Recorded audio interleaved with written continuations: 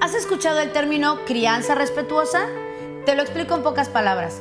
Seguramente si tienes uno o más hijos, tratas de ser emocionalmente responsable, de no castigar, de poner límites claros, de escuchar a tus hijos, porque de eso se trata la crianza respetuosa. Sin embargo, se entiende muy claramente cuando lo escuchas. Es más fácil oírlo que ponerlo en práctica. Y entonces te voy a dar algunos pequeños tips para que puedas mantener el orden en casa y hacerlo desde la crianza respetuosa. Cuando sientas que la dinámica está a punto de explotar, que tus hijos no están escuchando, que no respetan los límites, entonces agáchate al nivel de los ojos de tu hijo para que puedas hablarle directamente a su cara y que puedas entonces constatar que te está escuchando. Un siguiente tip sería que puedas validar su emoción junto con la tuya.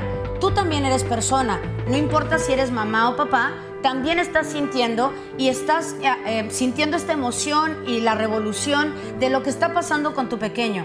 Entonces explícale lo que estás sintiendo y lo que ves que está pasando en él. Y entonces puedan llegar a un acuerdo.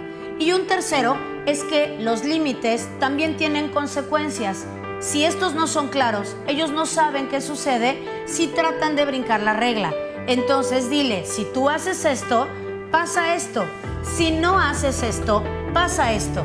Cuando las reglas son claras, los límites son claros y por lo tanto la consecuencia también es clara. La diferencia entre castigar y tener una consecuencia justamente es tener claridad de yo no te estoy castigando, tú estás eligiendo la consecuencia. Así que aprendamos juntos de crianza responsable. Yo soy Erika Juárez y te veo en la siguiente.